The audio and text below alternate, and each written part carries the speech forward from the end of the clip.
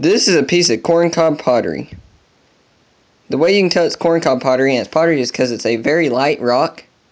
It's very light.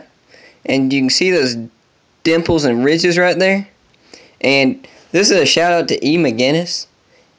If you could video enhance this or enhance this picture or something, resend it back so you can see these lines better. That's actually where corncob has been rolled on this piece of pottery to form it.